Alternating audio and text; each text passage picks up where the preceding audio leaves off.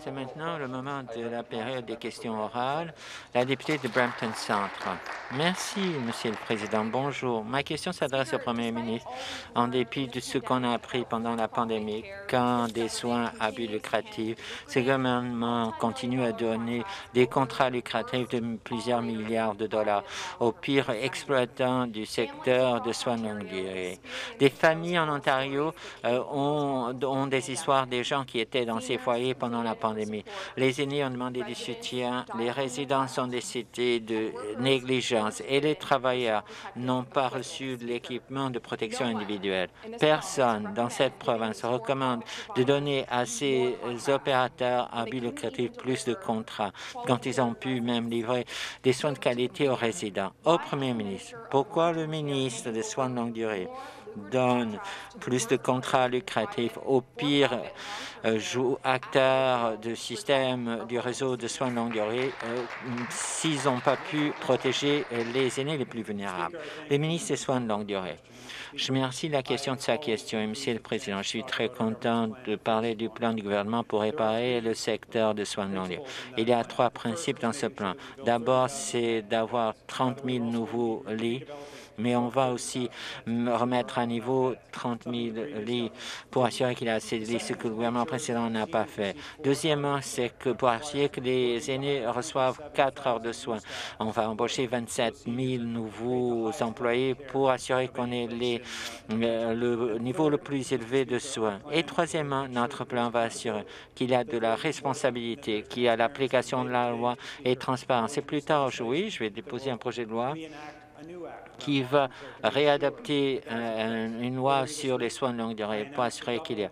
J'ai annoncé le doublement d'inspecteurs et donner plus de pouvoir, la création d'une équipe d'investigation pour assurer quand on a plus de, de lits. On veut s'assurer qu'il y a la surveillance que nos aînés méritent. Question complémentaire? Monsieur le Président, Right Care euh, diriger Eatonville Care Center. Ces quatre foyers de soins de longue durée ont vu 90 résidents perdre. Et tout cela, c'est bien documenté euh, dans euh, les rapports d'incidents critiques que les libéraux et les conservateurs ont ignorés. À Hawthorne Place, il y a eu six inspections. On a vu des problèmes sérieux dans les deux ans avant la pandémie. Ce gouvernement et le gouvernement précédent n'a pas émis une seule pénalité. Plutôt, ce qu'ils ont fait, ils ont offert plus de contrats à plusieurs millions de dollars. Pourquoi, comme les libéraux avec ce Premier ministre et ce ministre de Soins de longue durée, a ignoré ces rapports accablants euh, pendant des années et a continué à euh, récompenser ses amis dans le secteur de soins de longue durée. Le ministre des Soins de longue durée. Monsieur le Président, la députée sait qu'il y avait des problèmes partout dans le secteur des soins de longue durée, toutes sortes d'exploitants, tout type. Et la députée sait qu'on a euh, apporté des changements comme doubler l'inspecteur. Quand la députée a un plan qui dépense des milliards de dollars pour l'expropriation des actifs euh, privés, et euh, serait, on va arrêter des projets comme ce que le maire de a dit. Euh, depuis 15 ans, il demande à, avoir plus euh, de lits. 640 lits de plus qu'on aurait. Je pense qu'elle doit appeler. Le maire Belavac avant dit 256 lits sont bienvenus qui sont donnés par des euh, exploitants privés. À North Bay, Nipissing, il faut qu'il téléphone au président du conseil des résidents de euh, Waterside Community. Il a dit au ministre euh, du développement économique, nous sommes très enthousiastes de voir. Les résidents et les communautés veulent avoir ces foyers. Question complémentaire finale. Merci. Je pense que c'est important que de doubler les inspecteurs, c'est important. Mais ce qui est important, c'est d'écouter, voir ces rapports et agir sur ce que ces inspecteurs ont trouvé et demander des responsabilités à quelqu'un, ce que ce gouvernement n'a pas eu. Quand les forces armées sont venues, ce qu'ils ont trouvé, c'était vraiment époustouflant. Quelqu'un dans les armées a dit que les aînés criaient en agonie pour en demandant de l'aide pendant des heures. Les soldats disaient que le personnel avait peur s'ils auraient du trouble, s'ils utilisaient de l'équipement de protection, parce que ça coûtait de l'argent. Les familles demandent comment ce gouvernement donne plus d'argent à cette compagnie? Nous savons tous que les libéraux n'ont jamais réparé les foyers à but lucratif. Et en coïncidence, le PDG de Reich était un grand donateur au coffre des libéraux. Et on sait que les conservateurs ont accepté beaucoup d'argent de ces gens-là. Monsieur le Président, quand est-ce que le gouvernement va faire ce qui s'impose et commencer à dire non à ses amis et dire oui à la protection des aînés et des personnes handicapées? Les ministres des Soins de longue durée. Je trouve difficile à comprendre comment les néo-démocrates disent oui à des aînés en annulant plus de 100 projets où on construit des lits pour les aînés. Quelque chose d'important va avoir lieu demain. Et cela a lieu presque tous les jours en Ontario. À London, le nouveau Elmwood Place va ouvrir avec 50 lits additionnels pour les résidents de London.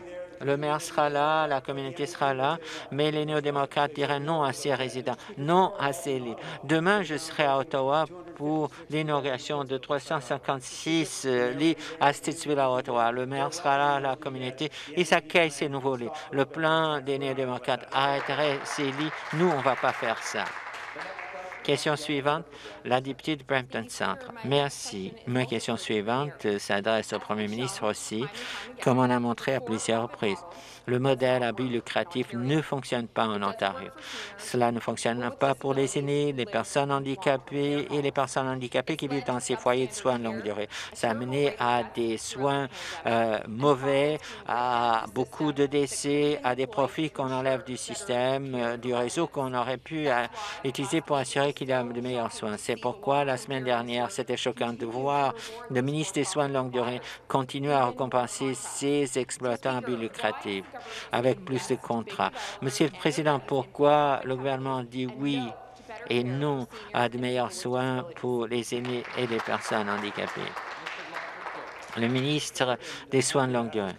Je suis content d'avoir cette conversation toute la journée. On a un plan pour réparer le foyer de soins de longue durée. Des décennies de négligence ont causé, donné ces résultats. On a parlé des tragédies pendant la pandémie. Nous sommes un gouvernement qui veut réparer les choses. On a dit oui aux aînés, c'est-à-dire on va construire de nouveaux lits, on va apporter de nouveaux lits. Euh, et euh, les députés d'en face ont parlé de quatre heures de soins et on, on l'a apporté. Et ça va commencer euh, le mois prochain avec 270 000 euh, euh, dollars pour embaucher plus de personnel. Et le gouvernement a eu zéro de ces lits à Brampton, des nouveaux lits que les libéraux ont livrés, seulement 600 pour, pendant leur période de pouvoir. Nous, on a 600 lits juste à Brampton, tout ça. Euh, on sait qu'il faut avoir des pouvoirs, c'est pourquoi on va doubler les inspecteurs, les pouvoirs et assurer que les aînés puissent avoir un bon soin et des lits de qualité. Merci. Question complémentaire?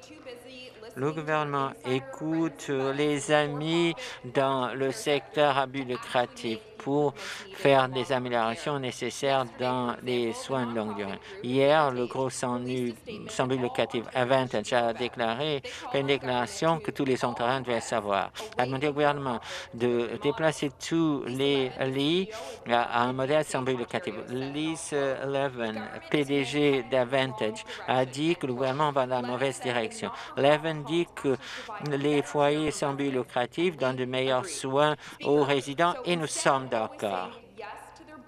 Monsieur le Président, plutôt que de dire oui à ses amis, pourquoi le gouvernement a ignoré euh, les conseils des experts qui dit que le secteur sans lucratif a de meilleurs résultats pour les aînés? Le ministre des Soins de longue durée. La députée de défense euh, comprend le rôle des défenseurs et j'ai travaillé, j'ai apprécié ses perspectives. Et elle a cité les salaires, je l'ai cité quand elle parlait de 4,9 euh, milliards de dollars d'investissement. Elle a dit c'est un moment sans précédent en Ontario. On investit exactement là où on a besoin pour avoir plus de personnel. Euh, en première ligne, ce qui va avoir un impact positif. Plus de personnel, c'est plus de soins. Et c'est ce qui est vraiment important. Et c'est ce que ce gouvernement va faire. Alors, question complémentaire finale? Merci, Monsieur le Président. Lisa, dans sa déclaration, a dit plusieurs autres choses et je vais citer. Elle pense c'est ce que euh, les contribuables veulent voir. Nous pensons que les contribuables veulent voir. En tant que Canadiens et Canadiens, les soins sans but locatif s'alignent avec notre conviction que les soins publics sont mieux on sait que les conservateurs ne croient pas ou défendent pas euh, du soin de santé universitaire, mais il n'y a pas de raison pour continuer ces plans pour plus de privatisation dans le réseau de soins de santé.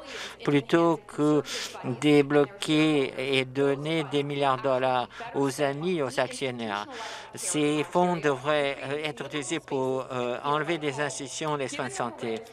Et vu les conditions dans les foyers à, but lucratif. Pourquoi est-ce que ce gouvernement donne des milliards de dollars, des contrats aux compagnies à but lucratif plutôt que d'investir dans des soins communautaires et des foyers sans but lucratif?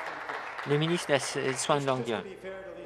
Pour être juste à Lisa je pense que la fin, c'était la députée pas Lisa parce que cela reflète à la perspective idéologique des néo-démocrates où tout, tout devrait être dirigé par le gouvernement, qu'on ne devrait pas avoir un secteur privé. On devrait dépenser des milliards milliards de dollars pour payer à l'expropriation des intérêts corporatifs et des affaires, plutôt que dépenser des milliards de dollars à appuyer la santé de nos aînés. Nous croyons que ce n'est pas une bonne idée, vient d'un bureaucrate. On pense que la société plus large, y inclut le secteur privé, les sans locatifs, les foyers municipaux ont un rôle jouer. C'est pourquoi on va continuer à appuyer tout ça dans notre objectif de euh, réparer les soins de longue durée pour livrer les soins nécessaires et les protections nécessaires dans le foyer de soins de longue durée. Euh, nouvelle question, la députée d'Oshawa. Merci, Monsieur le Président. Ma question s'adresse au ministre des Soins de longue durée. Monsieur le ministre, les gens sont terrifiés qu'un foyer euh, de soins de longue durée à but lucratif, Southwardville, pourrait avoir un permis de 30 ans, de l'argent public avec 89 nouveaux lits. 3, 30 ans, c'est une génération d'aînés. Beaucoup de gens dans la soixantaine et 70 seraient là, et beaucoup de gens ici seraient là peut-être. Les familles dévastées continuent à venir à Queen's Park à demander de soutien, euh, de ressources et de justice. Il n'y a pas de justice dans ce foyer. Est-ce que Orchardville mérite d'avoir une autorisation pour longement de euh, le permis? Est-ce à la politique de donner aux mauvais acteurs euh, des récompenses et tourner le dos aux familles qui sont en deuil? Réponse du ministre, ce gouvernement a écouté des familles et des résidents et a écouté des syndicats et les chefs des syndicats Comment est-ce qu'on a des foyers La, Des foyers euh, que cette députée a mentionné est revu par les euh, directeurs indépendants. Euh, L'opposition a écouté comment avoir un bon processus pour avoir un appel. Mais je vais parler plus tard de ça. Monsieur le Président, on s'assure qu'on a de, nouveaux lits et qu'il y a de la responsabilité. Dans la région de Durham, d'où vient la députée, des 611 nouveaux lits nets qui ont été construits, même moins de ça ont été construits là. On a des plans euh, d'avoir 1097 euh, 703 lits euh, qui sont mis à nouveau. On fait des choses pour protéger les, les aînés et pour donner des soins de qualité. Question complémentaire? Monsieur le ministre, les gens n'ont pas de foi dans ce gouvernement ou ses intentions dans les soins de longue durée. Les familles d'Orchardville disent que les, gens sont aussi les choses sont aussi mauvaises qu'avant. Et les forces canadiennes ont dit qu'il y avait des horreurs qui ont lieu entre ces murs ne doivent pas être récompensés. Cette ministre a été interviewée à la radio quand on lui demande posé une question sur Orchardville. Il a dit tout simplement les gens vont voir le nouvel édifice. Quel nouvel édifice? Le nouvel édifice qui a été donné avec le permis de 30 ans pour un foyer de soins de longue durée à qui a eu beaucoup de problèmes. Est-ce que euh, le ministre a pris la décision et c'est une affaire faite? Est-ce que Orchardville est récompensé d'un renouvellement de permis et un nouveau édifice avec 89 lits, qui, qui, ce qui est tout un cauchemar qui va continuer? Les ministres des soins de longue durée. Monsieur le Président, je ne veux pas avoir des partis pris et je pourrais qu'elle était déjà à Orchardville ou pas. Moi, j'y étais. Et moi-même et les ministres des Finances, on est allés à 6h30 du matin. Je l'ai fait des annonces à différents jours parce qu'on le fait quand on va avec un inspecteur.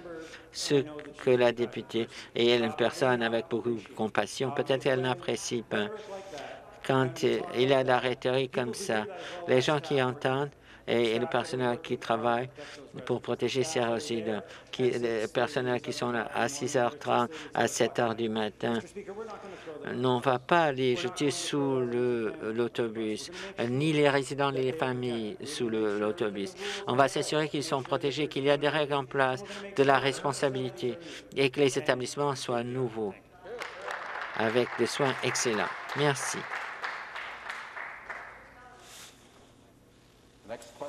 Question suivante. Le député de Perth-Wellington. Merci, Monsieur le Président. Moi, j'écoute avec attention ce que le ministre des Soins de longue durée dit, avec tellement d'attention que j'oublie un peu des choses.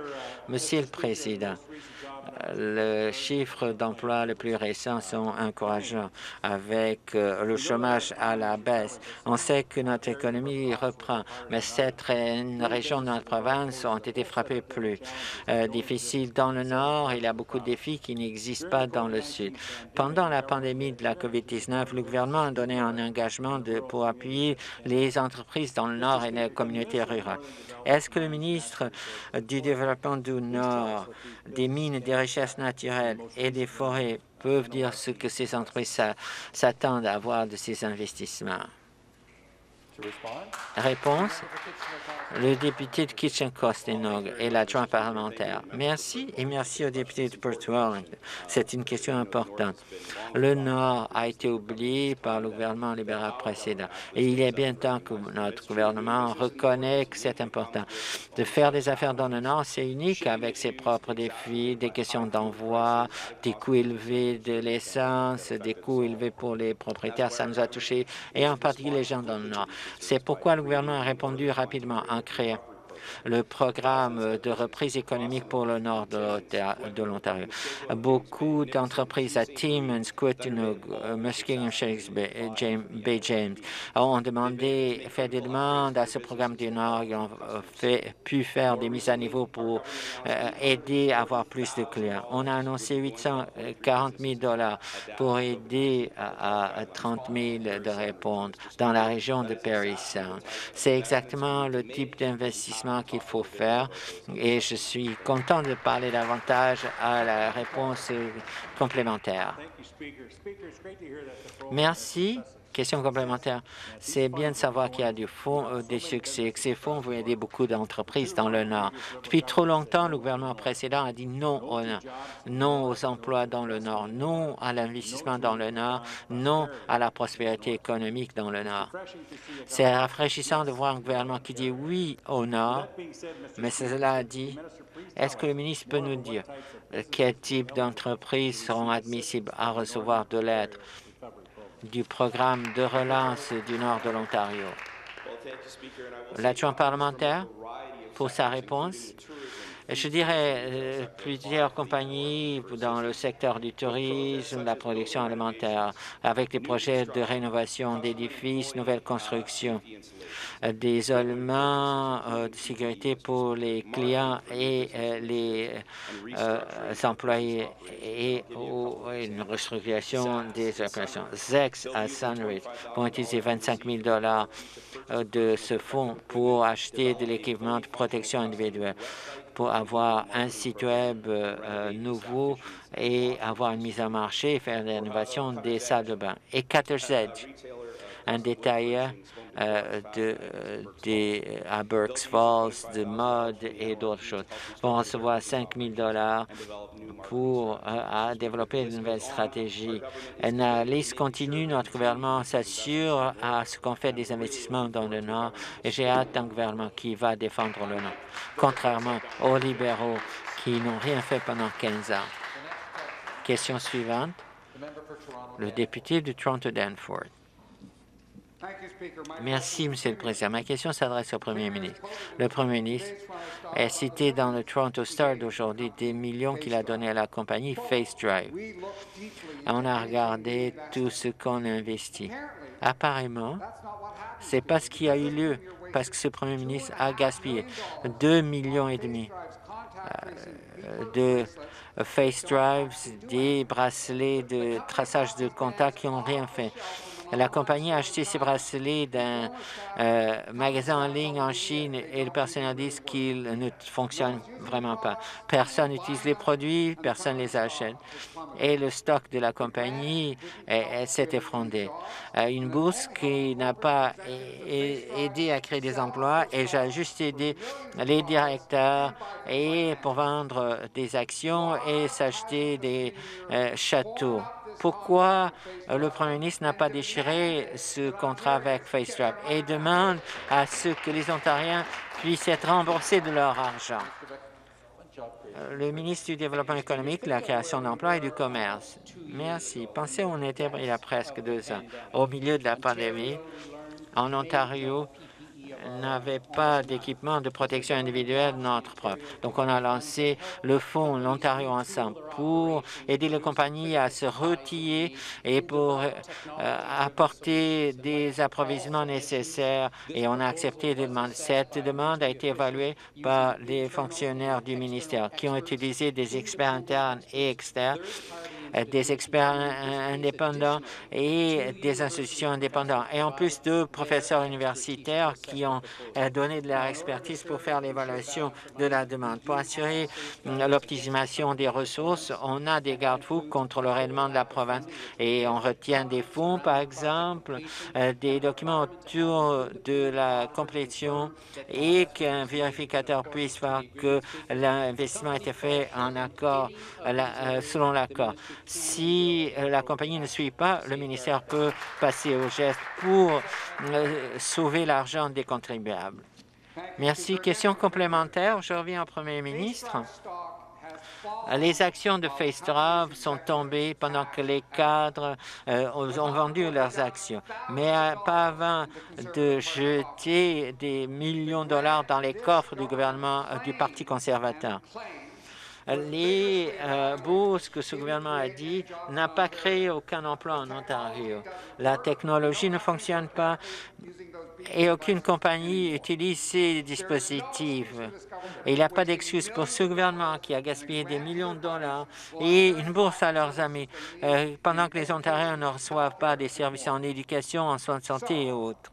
Alors, Monsieur le Président, au Premier ministre, est-ce qu'il va faire ce qui s'impose? Est-ce qu'il va appeler ses amis à FaceDrive et demande et exige qu'ils repaient les millions de dollars qu'ils ont reçus dans ce contrat et qui n'a pas créé un seul emploi en Ontario? Les ministres du Développement économique depuis la première journée, notre gouvernement veut maintenir la population ontarienne en sécurité. C'est pourquoi on a dévoilé des programmes pour faire des recherches et pour appuyer une réponse à l'économie. Le programme de fonds L'Ontario Ensemble a appuyé 45 projets en Ontario et a utilisé plus de 187 millions de dollars des, investissements du secteur privé utilisés comme levier. Et cela nous a aidé à avoir moins de dépendance sur la chaîne d'approvisionnement qui n'était pas fiable. Et on n'avait pas de pays. Et maintenant, plus de 74% de ce que le gouvernement achète, c'est produit ici en Ontario. La plupart en Ontario, c'est malheureux que le député d'en face et son parti ont dit non, non aux 50 millions additionnels de fonds l'Ontario ensemble, non aux compagnies de diagnostic médical à Mississauga, non aux producteurs de pays à Kitchener-Scarborough. Notre gouvernement va donner, euh, continuer à donner ses réserves. Question suivante, le député du York Centre. Ma question s'adresse au ministre du Travail. Tous les jours, il dit euh, soutenir les travailleurs de l'Ontario. Mais il y a des, beaucoup de travailleurs qui perdent leur travail quotidiennement parce qu'ils, euh, à cause de leur choix médical, en plus, il y a des employés dans les institutions qui font leur travail à leur place. Il y a des travailleurs euh, dans le travail de santé à Toronto, à London, à Windsor et à Ottawa qui sont à risque, au moins 50 000. Nous sommes tous dans la même situation, mais cela commence à devenir fatigant. Il y a une catastrophe euh, humanitaire et ils ne font que regarder, ils ne lèvent pas le petit doigt pour protéger ces centaines de milliers de travailleurs qui risquent d'être licenciés. Ah, va-t-il agir oui ou non? Réponse Merci beaucoup. Nous allons continuer à protéger la santé et le bien-être de toutes les personnes qui vivent dans la province. Je suis fier des mesures législatives que nous avons déposées cette semaine. C'est une loi pour les travailleurs, un projet de loi pour les travailleurs. Nous avons pris les mesures nécessaires pour nous assurer que les travailleurs reçoivent des meilleurs paiements et pour qu'ils aient une meilleure protection sur leur lieu de travail. Notre objectif est toujours d'offrir des, des possibilités et des avantages aux travailleurs. Il y a plusieurs éléments dans notre projet de loi. Nous voulons aider le secteur, euh, secter les agences de recrutement. 25% seulement de la main-d'œuvre travaille dans des domaines dans lesquels ils ont étudié. Nous voulons faire face à la pénurie de main-d'œuvre. Nous sommes prêts à en parler, notamment dans le cadre de ce projet de loi complémentaire. Des meilleurs salaires, comment ça? Les personnes perdre leur emploi, ils, n'ont plus d'avantages à cause de, cette, de, choix qui ont été pris. Le gouvernement n'est pas empathique. Il y a une catastrophe qui a été causée par ce gouvernement, par le Premier ministre. Ces personnes n'ont rien fait de mal à part refuser de prendre le, vaccin. Il y a une PSSP qui travaillait au centre de London pour devenir infirmière. Elle a travaillé pendant cette pandémie, elle a contracté la pandémie et est tombée malade pendant un mois. Et puis elle est retournée pour essayer de terminer son rêve de devenir infirmière.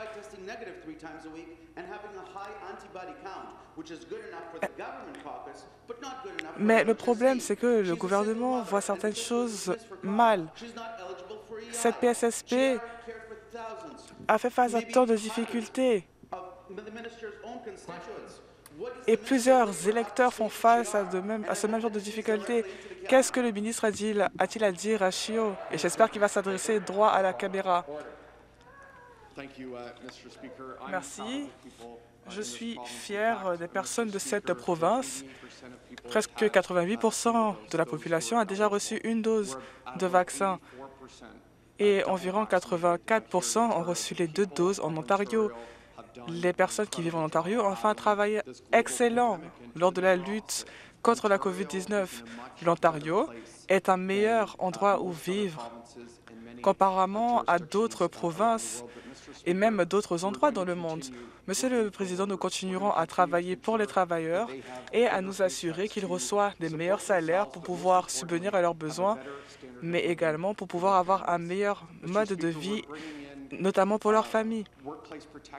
Nous voulons la protection sur les lieux de travail. Et le gouvernement libéral, avec l'aide des néo-démocrates, n'ont pas abordé ce problème. Nous allons continuer de développer les opportunités pour encourager et aider plus de personnes à avoir accès au monde du travail, notamment aux métiers, aux métiers spécialisés. Nous travaillons pour les travailleurs tous les jours. Question suivante, député de Oakville Nord. Monsieur le Président, pendant des années, la coalition des libéraux a rendu l'Ontario comme une province hostile où faire des affaires. L'économie de l'Ontario a été bâtie grâce à la puissance des entreprises et aux ressources naturelles. Mais les libéraux ont créé une catastrophe et n'ont pas su soutenir les entreprises, notamment euh, dans les entreprises de fabrication. Malheureusement, des collectivités comme dans la mienne, au nord de Burlington, qui est une place qui attire beaucoup des investissements, a été laissée tomber par l'ancien gouvernement. Est-ce que le ministre du Développement économique de la création des emplois pourrait nous dire comment notre gouvernement travaille afin de, quand l'Ontario puisse attirer beaucoup plus d'investissements? Dépenses, ministre euh, du Développement économique. Je remercie la députée pour sa question. Depuis le début, nous essayons de faire de l'Ontario une place ouverte aux affaires. Et c'est pour cela que nous avons lancé ce programme afin d'aider les municipalités à préparer des sites industriels pour attirer plus d'investissements et pour stimuler la croissance dans la région et ainsi créer plus d'emplois. Mais il manque de, diversité sur les sites industriels pour pouvoir répondre aux besoins de l'industrie. Notre programme va offrir beaucoup aux municipalités partout dans la province. Ils vont leur offrir, cela va leur offrir plus de flexibilité et des services en ligne. Les services, les entreprises Ontario pourront être plus compétitives à l'international. Nous allons répondre aux besoins de la province et nous encourageons tous les maires locaux et leurs partenaires à, se joindre à nous afin de libérer l'Ontario. Complémentaire Merci, Monsieur le Président. Nous savons que la COVID-19 et la pandémie a drastiquement changé la manière dont nous faisons les affaires. tout le monde essaie de travailler dans des courts délais et cela augmente la pression. Nous avons reçu des rapports plus que jamais. Des, investissements nécessitent un accès à des renseignements pour pouvoir confirmer les, lieux où faire affaire. Est-ce que le ministre de la Création de l'Emploi pourrait nous dire comment, dans ma circonscription et dans la province, les entreprises pourraient bénéficier de ce programme. Le ministre du Développement économique, la pandémie a eu des conséquences dramatiques sur la manière dont nous faisons des affaires. Notre programme vise à offrir des consultations et à donner accès à des renseignements. Cela aidera les communautés à faire à être plus, à attirer plus d'investissements. Nous voulons soutenir plusieurs opportunités d'investissement. Notre programme, grâce à ce programme, nous allons avoir euh, essuyé beaucoup de réussites. Et nous voulons créer encore plus de programmes pour l'Ontario. Nous avons des sites certifiés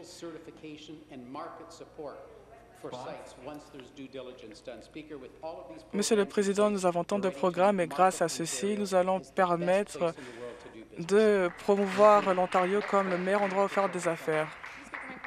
Question suivante. Ma question s'adresse au Premier ministre. J'ai reçu plein de courriels d'appels de commettants qui sont en colère car ils n'ont pas accès à des soins de la vue essentiels. Hier, Jennifer m'a contacté. Elle est autochtone. Elle, a une fille de 15 ans qui a des maux de tête et ses yeux lui font mal depuis des mois. Elle s'inquiète que sa fille ait développé une infection. Mais lorsqu'elle a, a essayé d'appeler, on lui a dit que son enfant ne pouvait pas se rendre dans les services d'optométrie, ne pouvait pas en recevoir. Sa seule option serait d'aller au service d'urgence. Jennifer veut savoir pourquoi sa fille doit souffrir parce que le gouvernement, ce gouvernement décide de négocier une entente avec les optométristes. Réponse, député d'Eglinton Lawrence. Merci, Monsieur le Président, et merci à la députée de l'opposition pour sa question. Je pense beaucoup à elle, je compatis, et je peux lui dire que nous sommes déçus de ce genre de situation. Les optométristes ont choisi de, se, de retirer leurs services pour les enfants et les personnes âgées.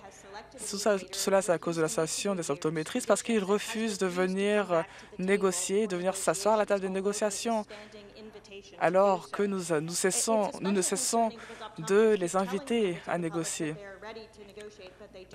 Ils disent être prêts à négocier, mais ils n'acceptent pas notre invitation. Nous sommes très anxieux. Nous voulons qu'ils viennent négocier encore une fois à nous pour négocier une entente équitable. Nous les avons invités à plusieurs reprises, proposé des millions de dollars et nous espérons sincèrement qu'ils reviendront se rasseoir à cette table afin que les résidents puissent recevoir des soins dont ils ont besoin. Complémentaire, merci le Président. Les personnes n'arrivent pas à prendre de, rendez-vous et ces personnes deviennent de plus en plus désespérées. Cela dure depuis deux mois. Les personnes âgées et les enfants n'ont pas accès à des soins de la vue nécessaires. Le gouvernement libéral précédent n'a pas suggéré cette euh, situation et pas bien financé ces services, mais ce gouvernement refuse de payer un plan équitable avec les optométristes. Ils ne veulent juste pas dépenser de l'argent pour les personnes âgées et pour les enfants, pour qu'ils puissent avoir accès à des soins de la vue nécessaires. Quand est-ce que le gouvernement va se rasseoir à cette table et négocier de bonne foi avec les optométristes? Député de Lawrence, Eglinton. Merci encore à la députée pour sa question. Nous sommes déjà assis à la table et nous attendons qu'ils viennent s'asseoir avec nous pour négocier. Nous avons choisi des médiateurs qui ont été choisis par les optométristes. Nous sommes prêts à négocier en tout temps. Lorsqu'ils veulent venir s'asseoir avec nous, nous les, attendrons. Nous les invitons à venir s'asseoir. C'est là-bas que les négociations vont se faire. Nous voulons agir en bonne foi et d'ailleurs, nous avons déjà soumis plusieurs offres, notamment une compensation euh, d'augmentation afin de rattraper le retard nous avons également proposé un paiement d'une fois qui est déjà entré dans les poches des optométristes. Il y aura une augmentation des frais et nous voulons un groupe de travail immédiat qui continuera de négocier. Nous sommes prêts à le faire. Nous espérons qu'ils viendront s'asseoir immédiatement pour que les personnes comme Jennifer et sa fille puissent recevoir les soins dont ils ont besoin. Merci. Complémentaire, député d'Ottawa-Vanier, ma question s'adresse au Premier ministre. En 2017, un groupe d'experts a conseillé que l'autoroute 413 ne soit pas construite. Cela allait encourager encore plus de personnes à conduire sur les routes. Mais nous devons nous battre contre cette crise écologique et promouvoir des énergies vertes. Investir dans les infrastructures routières n'est pas forcément la bonne idée. Alors ma question est la suivante. Est-ce que le gouvernement a un plan pour réduire la dépendance de l'Ontario euh, dans les voitures? Euh, réponse ministre des Transports. Merci beaucoup, Monsieur le Président. J'apprécie beaucoup sa question car j'ai la possibilité de soulever plusieurs points nous voulons protéger l'environnement et nous sommes fiers en tant que gouvernement car nous avons étendu l'entente Greenbelt. Nous sommes également en train de construire des infrastructures routières sans précédent. Nous voulons offrir la possibilité aux personnes, si elles veulent conduire, de se déplacer d'un point A à B.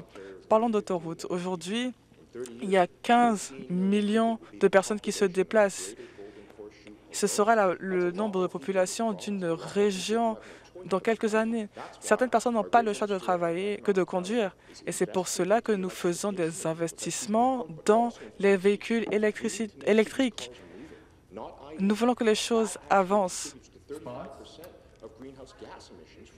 Cela contribue à 35% de la pollution de l'air. Nous voulons investir dans les autoroutes partout en Ontario. Complémentaire Merci, Monsieur le Président. Ce gouvernement dit soutenir les, entreprises productrices de voitures électriques, et c'est génial. Malheureusement, le gouvernement a passé des mesures législatives qui ne soutenaient pas cela. En 2018, ils ont refusé un programme qui offrait jusqu'à 40 millions de dollars, 40 000 dollars, aux 14 000 dollars aux personnes qui voulaient acheter un véhicule électrique. Le gouvernement soutient les entreprises qui, les personnes qui veulent acheter des voitures électriques. Mais qu'ont-ils fait? Ils ont supprimé des stations de recharge. Si le gouvernement veut que l'Ontario devienne un hub pour les voitures électriques, en termes de, de production également, quel est leur plan pour rendre les véhicules électriques beaucoup plus accessibles aux consommateurs et pour qu'ils soient plus efficaces à utiliser? Le ministre du Développement économique et de la création d'emplois? Lorsque vous pensez à la position dans laquelle nous étions il y a quelques années, quelques années on peut voir euh, la réussite. Nous avons réduit les coûts d'affaires pour eux de 70 millions de dollars. Cela a pu attirer plus de concessionnaires auto. Ils ont fait des engagements. Nous avons soutenu leurs euh, engagements. Nous avons fait des investissements dans les voitures électriques et vous verrez cela dans l'avenir. Nos investissements se feront du côté de l'approvisionnement. Nous regardons les producteurs de moteurs et nous voulons nous assurer que l'Ontario devienne un hub pour les voitures électriques en Amérique du Nord. Question suivante, député de Stormont Dundas, Glengarry Sud. Ma question s'adresse au ministre des Soins de longue durée. S'assurer de la santé et du bien-être des résidents est une des priorités de ce gouvernement. Les résidents des foyers de longue durée ont, été, ont subi les conséquences de la pandémie. En 2018, il y a eu des, des inspections et on a conclu qu'il y avait un retard. Il y a eu des, des plaintes pour harcèlement sexuel. Et ce sont des genres d'allégations que nous ne supportons pas entendre. Il y a eu de la négligence. Mais quels genres d'investissements vont être faits pour assurer une qualité de soins de santé pour les résidents de foyers de longue durée? Le ministre des Soins de longue durée? Merci euh, au député pour sa question et pour son travail exceptionnel. Cette semaine, nous avons annoncé un, investissement de 28 millions de dollars Qu'est-ce que cela veut dire? Nous allons doubler le nombre d'inspecteurs sur le terrain afin de faire le travail nécessaire pour surveiller les, les foyers de soins de longue durée. Pour, chaque, pour deux foyers, il y aura un inspecteur. Cela veut dire plusieurs choses. Nous allons lancer un programme et les inspecteurs auront le temps de travailler avec les foyers. Il y aura des inspections qui se feront en temps opportun. Cela veut également dire que ces inspecteurs auront des teams qui auront des compétences nécessaires pour s'assurer que les enquêtes se font de la bonne manière.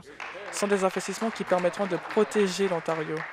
Complémentaire, Merci, Monsieur le Président. Merci, Monsieur le ministre, pour sa question. Nous avons entendu la commission d'enquête de, la pandémie et des soins, de longue durée qu'il fallait améliorer la situation. Ces investissements aideront à mieux identifier les problèmes et à s'assurer que les résidents restent en sécurité. Alors, je m'adresse au ministre de Soins de longue durée. Ce secteur est épuisé. Est-ce que le ministre a écouté les voix de ces personnes Ministre de Soins de longue durée? Nous avons reçu des commentaires concernant euh, l'augmentation des inspecteurs et la plupart de ces commentaires étaient positifs. Par exemple, quelqu'un a déclaré que cela permettrait d'être plus transparent et d'avoir des mesures législatives. les inspections permettront de s'assurer que les résidences opèrent leurs activités. Oui, nous écoutons des commentaires, nous continuerons d'écouter, et cela nous a pris dix ans afin d'être à la situation actuelle. Nous voulons écouter tous les partis et nous voulons assurer une progression. Ces inspecteurs représentent un bon départ. Merci. Question suivante, député de Thunder Bay, Atikokan. Merci. Ma question s'adresse au Premier ministre. Samedi, j'ai rejoint plusieurs familles qui ont marché pendant 5, 5 km pour sensibiliser euh, la population quant à la dépendance aux drogues. Ces familles m'ont confié que cette province doit agir. Certains On dit que c'était juste des promesses vides. Quand est-ce que ce gouvernement réparera-t-il ces années de négligence et offrira des services qui permettra de sauver des vies? Député d'Eglinton Lawrence. Merci, Monsieur le Président. Merci à la députée de l'opposition pour sa question. Il y a une crise de l'opioïde et elle arrive actuelle. C'est une crise qui s'est en plus de cela intensifiée avec la pandémie. Le gouvernement a fait des investissements d'urgence en santé mentale et euh, les services qui sont offerts. Nous savons qu'il y a certaines communautés, notamment des communautés du Nord et des francophones, ont été affectées de façon proportionnée par cette crise d'opioïdes. Le gouvernement a toujours cet engagement d'aider des personnes qui ont besoin d'aide par rapport aux dépendances. L'année dernière, nous avons fait des investissements de 90 millions de dollars. Nous continuerons à fournir des investissements pour soutenir ces programmes et pour offrir cette aide qui est nécessaire. Complémentaire, Ma question s'adresse au Premier ministre. Récemment, il y a eu 15 cas de surdose dans ma communauté. Cette fin de semaine, j'ai parlé avec des membres des familles qui ont été affectés. Ils ont exprimé leurs besoins de traitement et d'accès aux soins qui ne sont pas disponibles dans leur euh, circonscription. Ils ont également parlé des, vies qui ont été perdues beaucoup trop tôt et des personnes qui ont été laissées derrière. La dépendance ne devrait pas être un crime. Nous devrons traiter ce problème comme un problème médical. Quand est-ce que le gouvernement va-t-il agir pour soutenir les personnes et les familles en crise? Député d'Eglinton Lawrence, merci beaucoup, Monsieur le Président. Comme je l'ai dit dans ma première réponse, nous soutenons beaucoup d'initiatives en matière euh, de prestations d'aide pour euh, répondre aux dépendances. Actuellement, il y a des enquêtes concernant 16 de ces sites partout dans la province.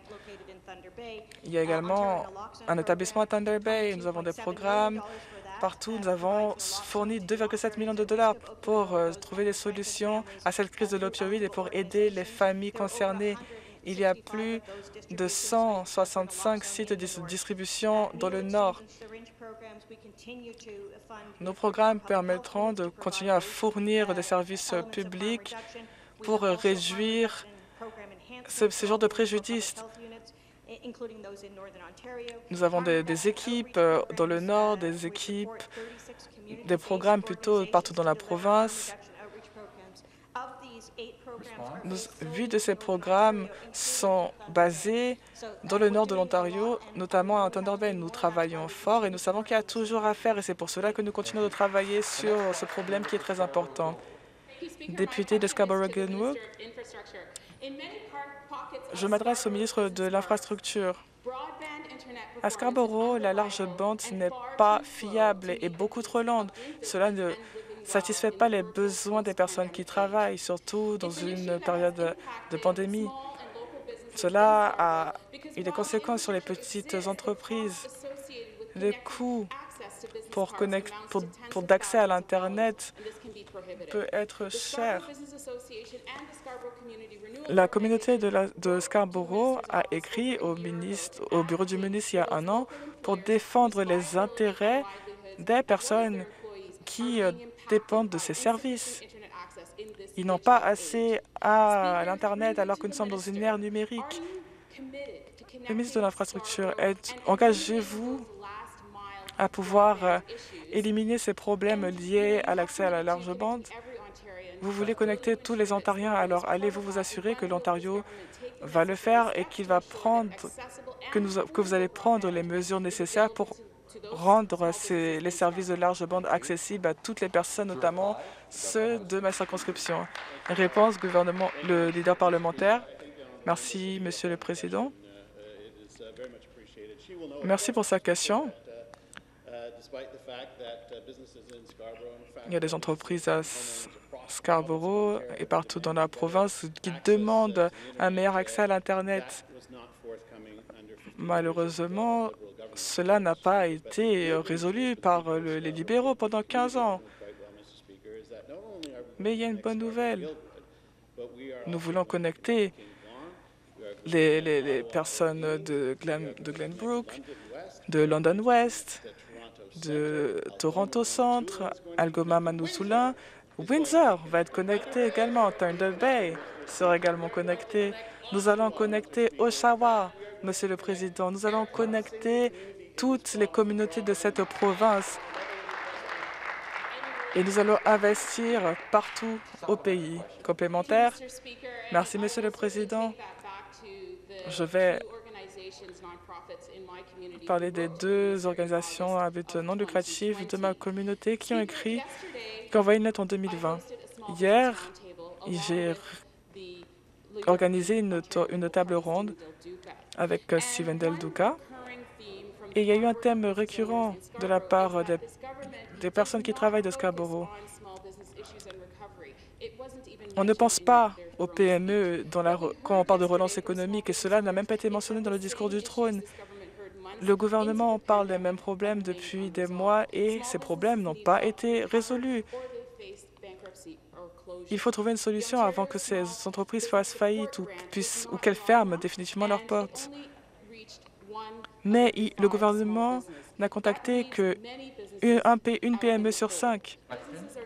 Les entreprises attendent toujours à ce que le gouvernement puisse étendre les mesures. Alors ma question est la suivante. Est-ce que le ministre des Finances, lors de l'énoncé économique, inclura les PME et renouvellera les prêts alloués aux PME afin qu'elles puissent être plus admissibles à recevoir ces prêts dont elles ont désespérément besoin? La ministre associée pour la réponse. J'aimerais la remercier pour sa question. Lorsque la pandémie a commencé, notre gouvernement a reconnu dès le départ que les PME avaient été impactées par cette pandémie et qu'elles avaient besoin d'un soutien immédiat. Nous voulons employer plus de personnes en Ontario et répondre à leurs problèmes. Notre but, c'est de donner de l'argent aux entreprises le plus vite possible, car nous reconnaissons qu'il y a, eu beaucoup de problèmes et que ces PME ont été affectées. À date, 3 milliards de, dollars ont été offerts en prêt à plus de 100 entreprises de l'entreprise, de 110 000 entreprises de la province. Nous voulons qu'ils reçoivent des centaines de milliers de dollars grâce à ce programme, mais ce gouvernement a été déçu de voir que tous les membres de les députés de l'opposition ont voté contre cette décision. Merci. Veuillez arrêter la pendule pour euh, un petit moment. Je rappelle à la Chambre que pendant la période de questions, les, questions complémentaires doivent suivre la logique de la question initiale. La question complémentaire ne doit pas présenter une autre question. Elle doit être complémentaire et suivre la question initiale. Merci.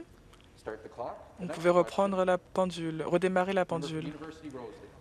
Question suivante, euh, député de University Rosedale. Merci, Monsieur le Président. Ma question est la suivante. J'aimerais vous raconter l'histoire de Ronnie. Elle vit dans un condo sur University Rosedale. Elle a récemment déménagé, mais depuis, sa vie a été un cauchemar. Elle a eu des problèmes avec euh, son appartement, mais on refuse de réparer ses problèmes. Elle ne peut rien faire. L'appartement au d'elle est vide, mais il y a des inondations. Et c'est la troisième fois que cela arrive en deux ans. Elle doit maintenant payer pour des réparations. Ronnie a demandé de l'aide, mais on l'a ignoré. La seule option qu'on lui a donnée, c'est d'aller auprès des tribunaux et euh, de sûrement payer, payer des milliers de dollars.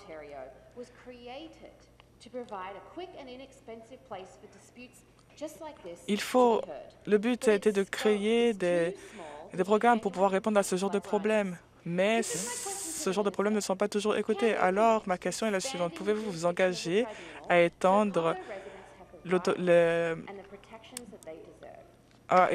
les pouvoirs du tribunal pour qu'on puisse répondre aux problèmes de personnes comme Ronnie?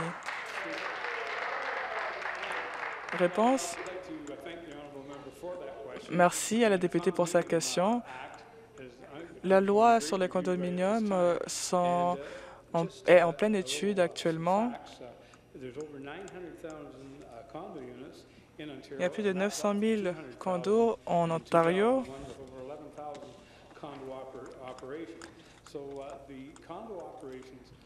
L'opération des, condominiums, conformément à la loi sur les condominiums, a son propre conseil.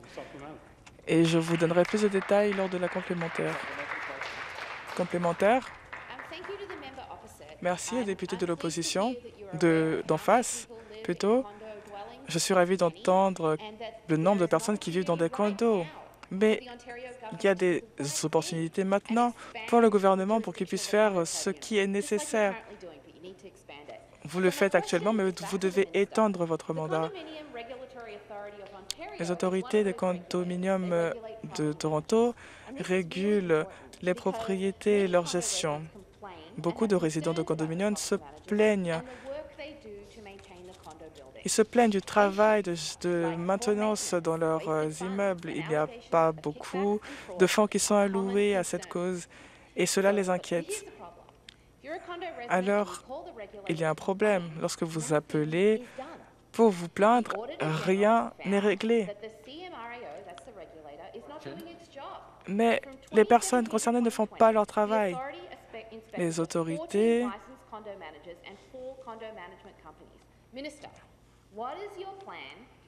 alors, ma question s'adresse au ministre. Quel est votre plan pour vous assurer que ces, ces personnes puissent réaliser leur travail dans l'Ontario?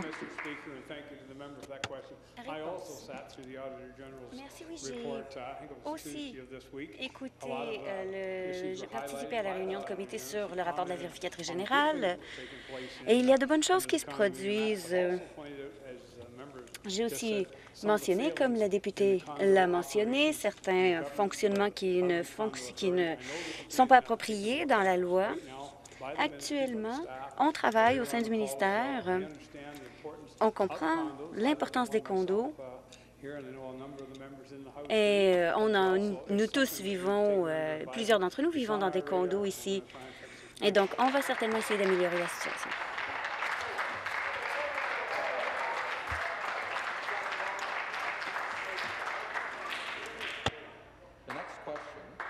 Prochaine question. Député de York Centre.